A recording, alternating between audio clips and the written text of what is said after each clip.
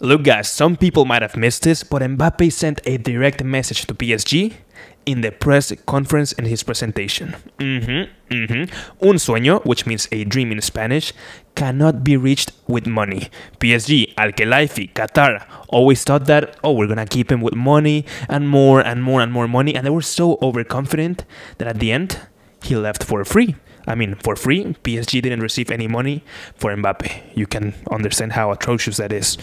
But yeah, direct message a dream cannot be reached with only mm-hmm, money. That's it. Let me know what you think about this, about Mbappe, and everything.